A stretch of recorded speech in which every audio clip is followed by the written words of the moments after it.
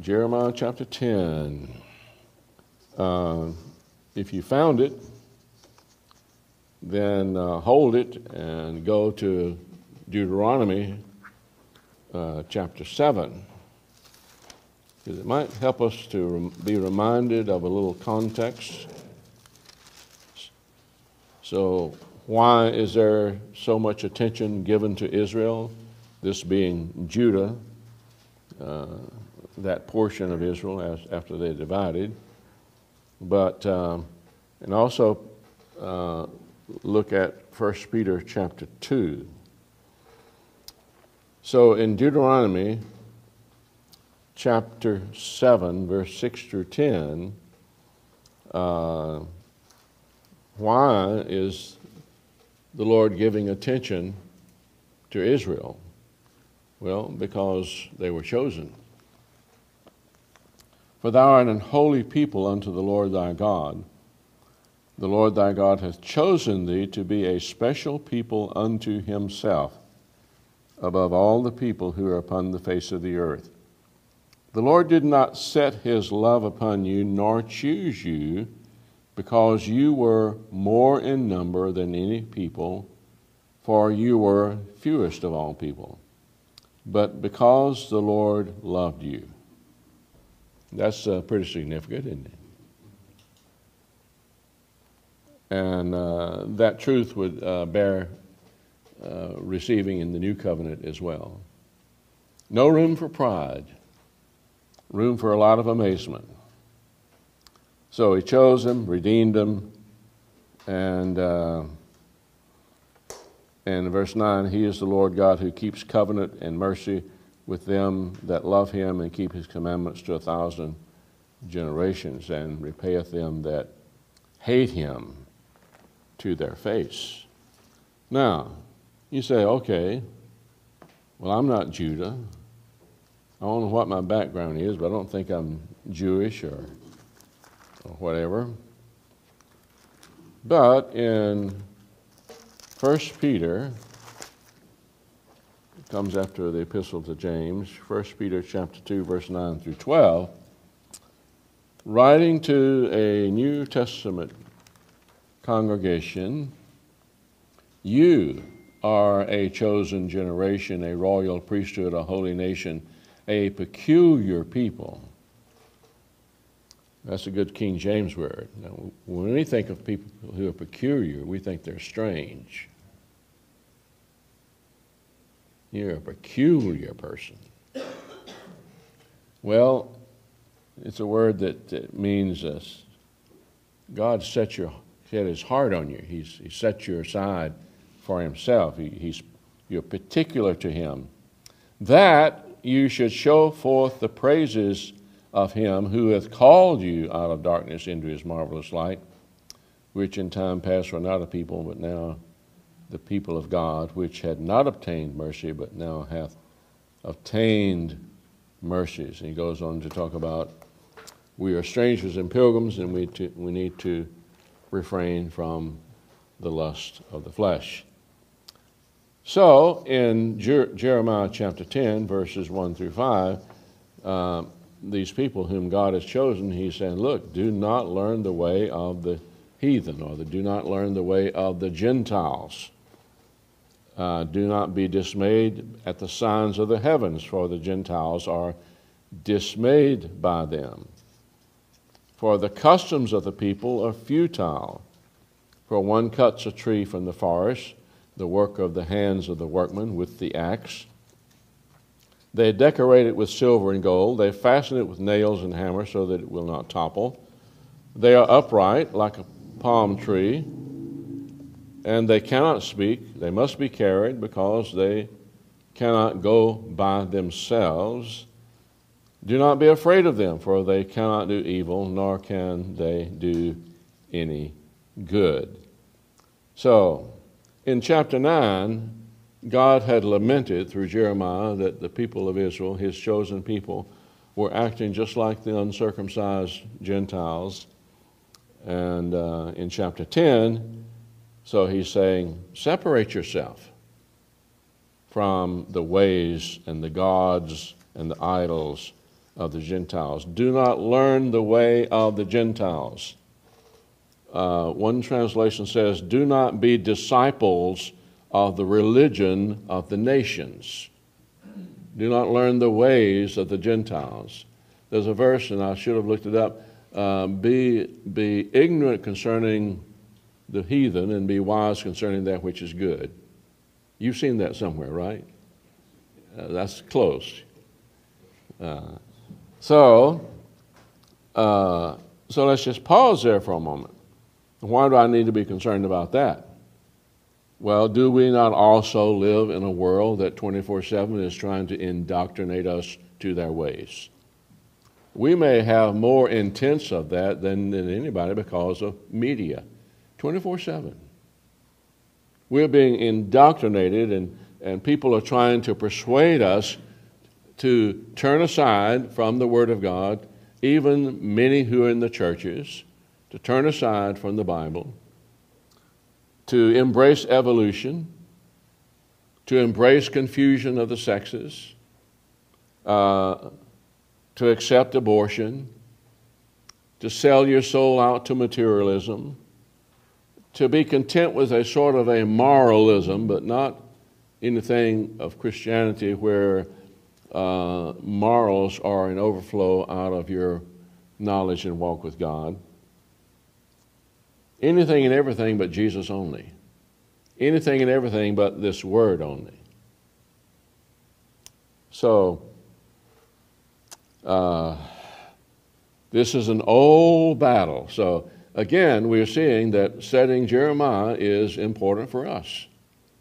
We're not looking for a history lesson uh, to know all the details of how it all played out in their lives, but seeing that here we are thousands of years later and we're having similar battles. So, dealing with idols. What is an idol? Anything that takes the place of God? Any other thoughts? What is the appeal of the idol? Look at verse 9 in chapter 10 uh, verse 8 and 9. But they are altogether brutish and foolish. The stock is a doctrine of vanities. Uh, silver spread into plates is brought from Tarshish, and gold from Uphaz in the work of the workman, and of the hands of the founder, the blue and purple and the coaling. They're all the work of cunning men. So as something is coming through the eye gate, there's an appeal through the eye gate. And so many idols, the temptation comes through the eye gate. First Timothy, I mean First John chapter two, verse twelve through seventeen. Uh, pretty familiar to us. First John chapter two, verse fifteen through seventeen. Love not the world, neither the things that are in the world. For if any man love the world, the love of the Father is not in him. For all that is in the world, the lust of the flesh, the lust of the eyes, and the pride of life, is not from the Father, but from God. So, oh, go all the way back to Genesis 3. The temptation is set before Eve, and oh, it's, it's pleasant to the eyes. The eyes are a wonderful gift from God.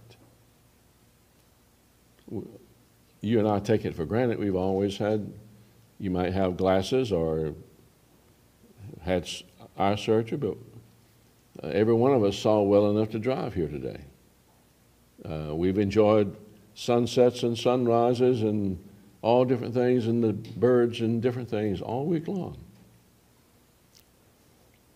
uh, I had no concept of the world of a girl that I was in class with in high school. Uh, I, had a, my, I had a class, uh, we had a Latin class. You say, You took Latin? Yes. And she was blind. And she did everything from Braille. I mean, she was not partially blind, she was totally blind we were nice to her, but we had no concept. We were focused on ourselves. In fact, what a shame to misuse such a gift. And invariably, sin is a misuse of a good gift from God. Idols very, very often are a misuse of a good gift from God. A child can be an idol. Or your home, your vehicle, whatever. I mean, we, it's uh, another thing that is uh, tempting about idolatry is that we are uncomfortable if we're not with the crowd. Whatever the crowd is doing, we tend to go that way. So in verse 2, he says, Do not be dismayed at the signs of the heaven. And the, the pagans were dismayed, and this could be a reference to not merely the sun, the moon, the stars, but to eclipses and comets and meteors, and which they would take to be, oh, something bad is coming. And you know, people still do that today. So, but in verse 3, he says, For the customs of the people are futile. For one cuts a tree from the forest, they decorate it with silver and gold, they fasten it with nails and hammers so that it will not tumble. topple. So uh, he describes the custom of cutting a tree, setting it in place, decorating it, worshiping it. And so Israel got a lot of this from the pagan world and they just adapted it. Uh, so we look around at what the world is doing. Spurgeon said many years ago that London got her dress styles from Paris, and Paris got them from hell. He was talking about the sensuous dress styles that even was, were worn by women in his day. And so, again, uh, all morality all of what, what God wants goes out the window because we're just going with the crowd. So, there is a strong emphasis all through the Bible warning us to flee from idolatry. I mean, there's, we, can, we can be idolatrous about almost anything under the sun. Idolatry is defined by Webster's dictionary as excessive devotion or reverence for some person or thing. As was indicated earlier, it is something or someone that takes the primary place of God. Some of you have heard me tell, and I happened to find it this morning. I had a little track from many years ago. It's entitled It Was His Life. It was His whole life.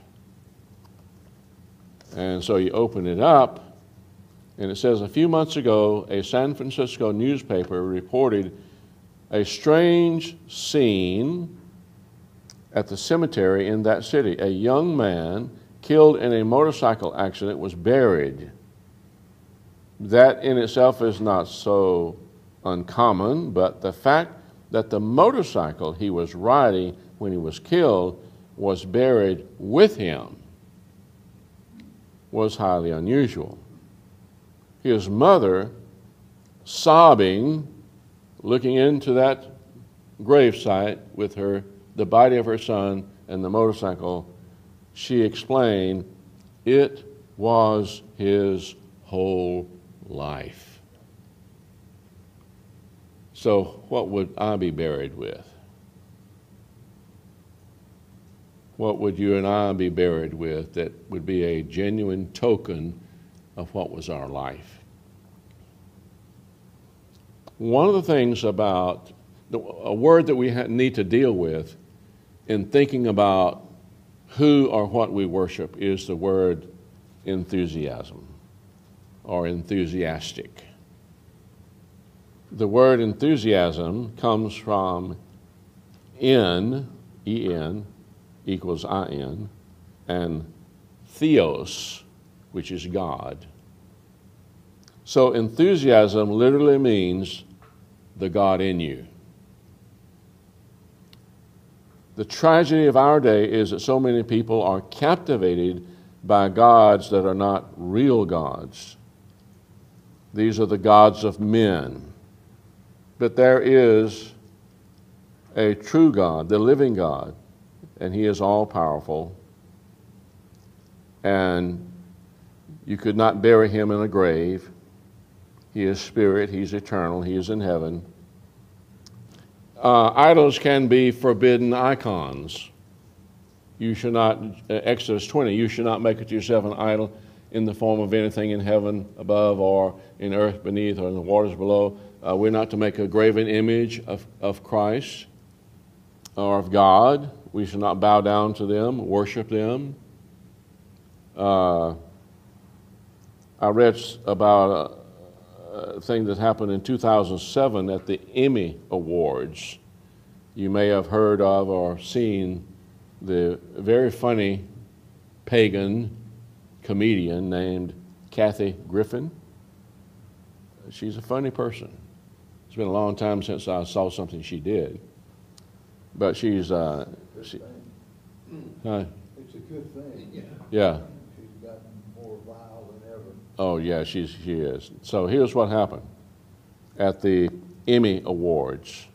She came forward to accept her award, and she said something along these lines A lot of people come up here and thank Jesus for this award. I want you to know that there is no one who had less to do with this award than Jesus. He didn't help me one bit. So I can so all I can say is forget you, Jesus, except the words that she really said there you couldn't print. This award is my God now. So an idol has been defined as anything or anyone that we love more than the Lord, trust in more than the Lord, give more attention to than the Lord. Idolatry gives the worship, the honor, the attention which God deserves. The world is full of idolaters, both in and outside the church.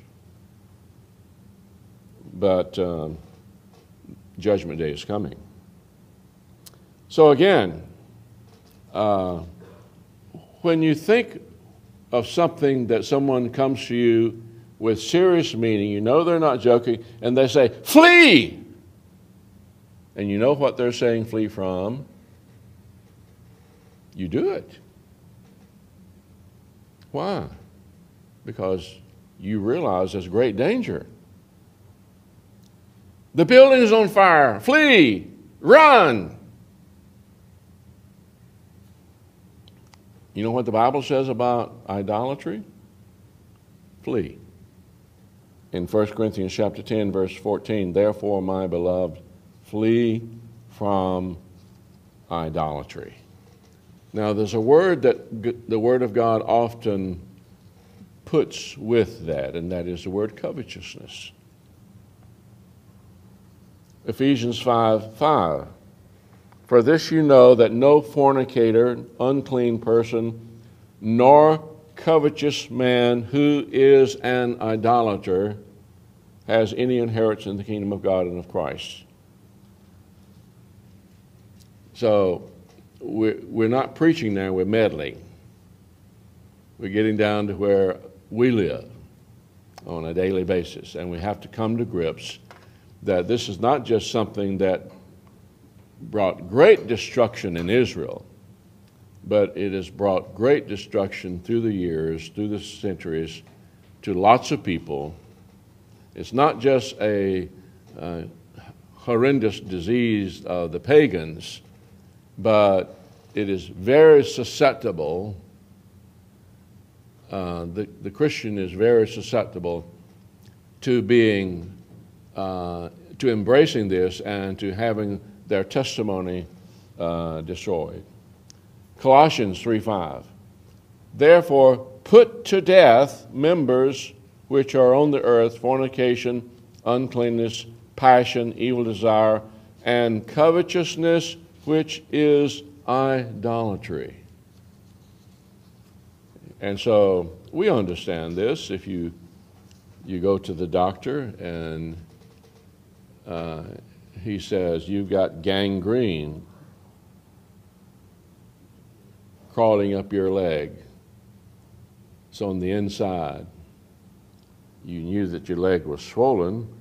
You knew there was a problem, but you didn't know it was gangrene.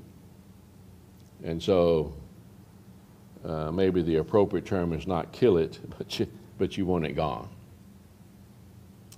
And uh, in 1 John 5 21, from the Living Paraphrase, Dear children, keep away from anything that might take God's place in your heart. This is strongly emphasized over and over in the New Testament.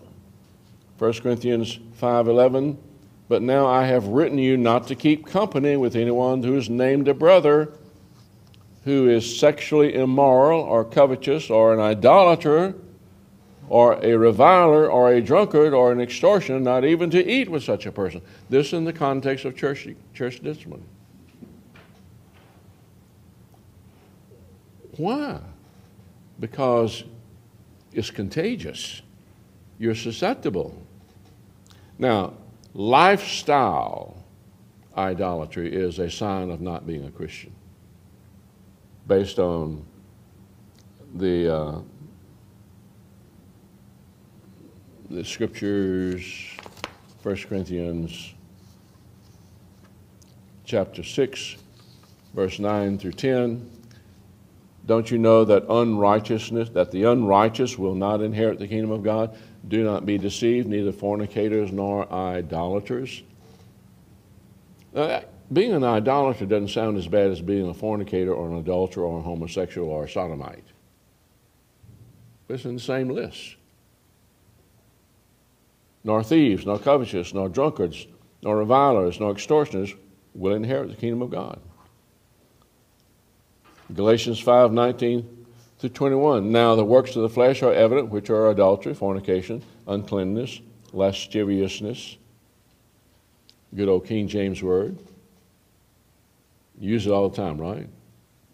It means, in essence, to be turned on sexually outside the will of God.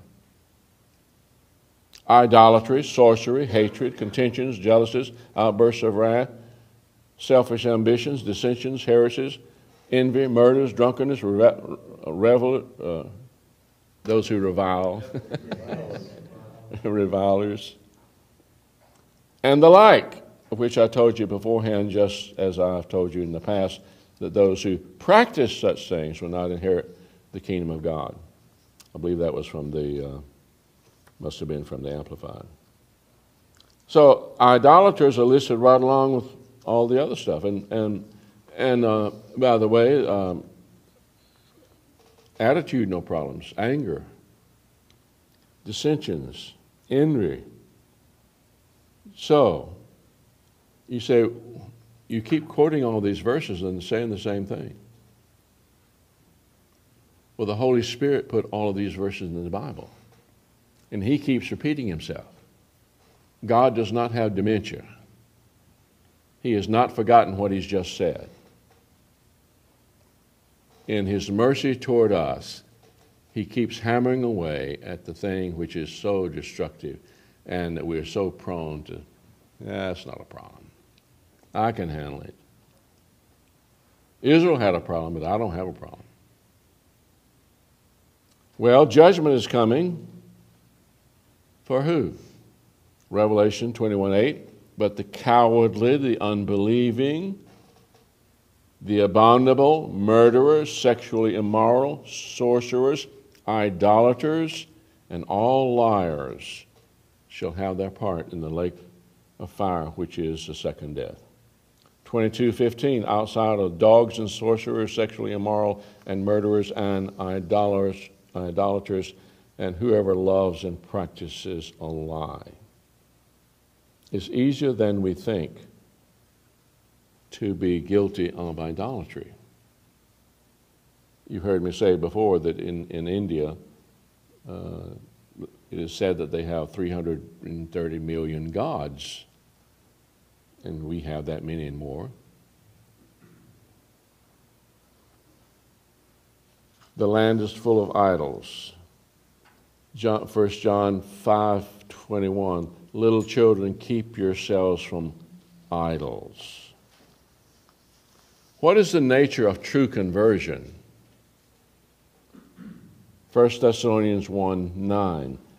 You, he's, he's recording the testimony of the when, when the Thessalonican church was birthed and when these people got saved, you turned to God from idols to serve the living and true God. That's, that's the reality of conversion. It's not just walking down an aisle and, yeah, I'm saved, and walk out and continue to walk like you've always walked. Uh, again, 1 John 5 19 through 21 the whole world lies in the power of the evil one. Little children, guard yourselves from idols. Again, 1 Corinthians 10 do not be idolaters, flee from idolatry. The world offers us a million things to, to get interested in, to get enthusiastic about, to let it creep in and to take priority in our soul and to begin to live for that and to have our commitment to Christ diluted or pulled away from it. So, what is the chief weapon in winning the battle over idolatry? Foundation, of course, is being saved. But then what? Flee. Run. Uh, I, bet, I bet many of you can still picture the, the towers, 9 11. What do we see? Scenes of people fleeing. Now, yes, there were some lingering because they were trying to help save some people. But they were, they were not any, they, they did not understand the, the depth of what they were dealing with. But uh, they were not just lingering, oh, let's go ha- have a cup of coffee. They, were, they recognized the danger and they were trying to help others. Uh, another another uh, uh, teaching that we'll find in uh, the book of Acts is sometimes the, the, thing we have to do is to destroy. Uh, they, the, some of the new Christians there had some books and things, and they turned their back on them and they destroyed them. Uh, I remember uh, a young man when we had this Christian school had a very fine collection of pretty seriously hard rock music albums, tapes, and whatever was the vogue at that time. Worth a lot of money. And people assured him that they were worth a lot of money, but he destroyed them. And I don't know if he ever had second thoughts about that or not, but at that moment in time, uh, that was a good thing. Now, the Ephesians 4 talks about putting off the old man, putting on the new man. That's a, that's a dynamic in winning spiritual battles. And if you're being overwhelmed with something, some tradition or some person or whatever, in, in, in ways, and you know it's cooling your commitment to Christ, uh, there's a concept of putting off the old man and putting on the new man. But there is a powerful concept in Galatians 5:16 that has many applications for us. He says, Walk in the Spirit, and you shall not fulfill the lusts of the flesh. The most powerful way to win over any old habit or any old tradition or any old sin or whatever is to cultivate a new love. If you're a Christian and the Holy Spirit living within you, walk in the Spirit, make that our focus. So cultivate love for Jesus Christ. And that's why I'm sure that in the epistles, the first thing in Romans, the first thing in Ephesians, Galatians, Colossians, especially those, the first thing is to talk about what Christ has done, who we are in Christ, the wonders of who God is, then, in Ephesians, in chapter 4, therefore, then start, here's how you walk. And so, in winning spiritual battles, and winning victory over whatever, and having, and getting, making sure that you have the right perspective. And we have people and things and stuff vying for our hearts. It's the first thing that Satan did was to set something before Adam and Eve that was a temptation to go outside or beyond God's provision and to be enamored with it. All right. I knew we would not get through many verses today because I felt like we really needed to spend some time focusing on a tremendous focus in the Bible on idolatry, idols, covetousness, and, and to see uh, how we win spiritual battles. Father, help us to uh, come to grips with these incredible, almost, I don't want to say this in a bad way, but in our flesh we say these are just monotonous warnings. And Lord, they're not monotonous. They're, they're pleas from the one who loves. Warnings we're hard of hearing on this. We need repetition on this. We need to embrace the call to flee from idolatry, to put off the old man, to put on the new man, to walk in the Spirit and not fulfill the lusts of the flesh, to bring the things that we do and the choices we make before the judgment of God's Word and does it square with what God is calling us to do. And we bless you and praise you in Jesus' name. Amen.